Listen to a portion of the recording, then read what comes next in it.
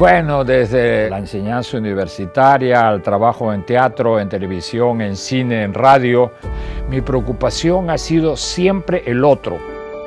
Me gusta enterarme de las cosas y contarlas inmediatamente y estoy haciendo mucho por hablarlo en fácil. Yo estoy informado y por eso me dirijo a ti.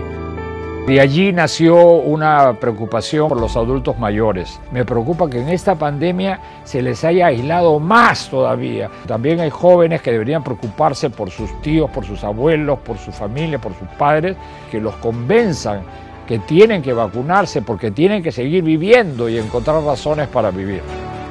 Esta es una enfermedad familiar desde el punto de vista del virus, pero también desde el punto de vista emocional.